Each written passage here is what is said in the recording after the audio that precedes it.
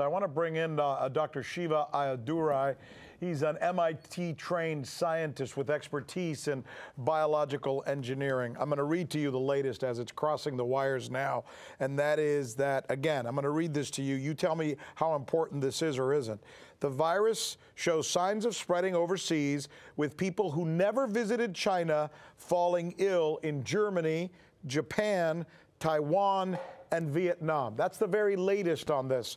Does that concern you, sir? Well, you know, one of the interesting things is uh, there's a, two parts, right? Symptomatic and asymptomatic.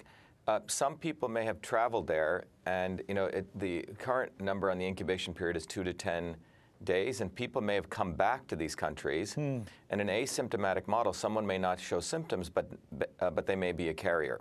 So that's what's uh, not clear with this virus, whether it's asymptomatic you know, or symptomatic. Some viruses, uh, someone doesn't show anything. They could have traveled to China, come around, walked around a big mall, and someone else gets it, but they could be a carrier.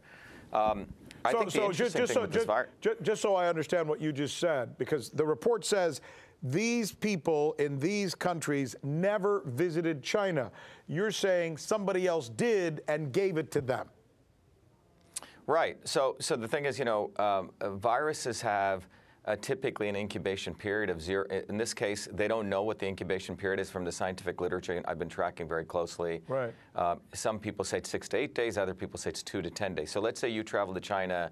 Uh, 10 days ago. Right. Um, you may have you may have it, but you may uh, not show any symptoms. It's a base of uh, uh, fundamentally a base basis of your strength of your immune system, right? Your immune system may have fought it, uh, and you may absolutely be fine, but you may be a carrier of it.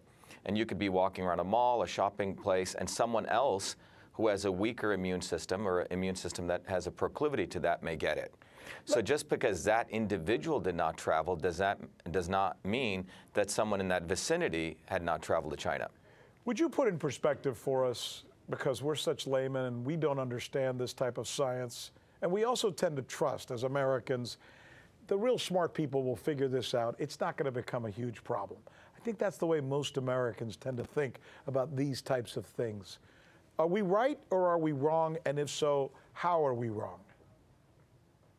Well, well, I think it's all relative, right? So if you look at broadly, right, mm-hmm. at infectious diseases from a, a broad perspective, um, and I think it's good to look at this in context.